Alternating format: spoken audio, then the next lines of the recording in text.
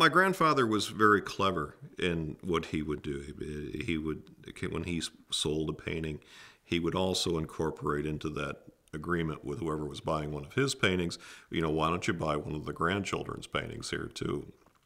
So we would get 10 or 15 or 20 dollars for a painting, you know, and at least that's what we thought we were getting. I, I don't know whether we actually sold them or not, but it was a, a great inspiration, believe it or not. I mean, to uh, be able to think that you could do this and, and you know get a little money for some soda pop and uh, you know keep your bicycle uh, on the road and so forth.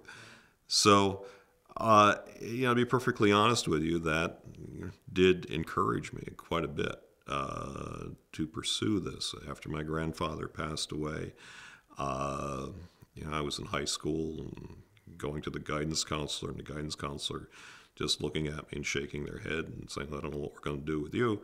And I said, well, you know, I said, maybe I'll go be an artist and, and, and paint for a living. And they just said, you know, nobody does that.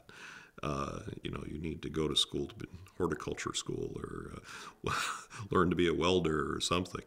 And uh, I said, ah, I don't know, I'll give this a try for a while.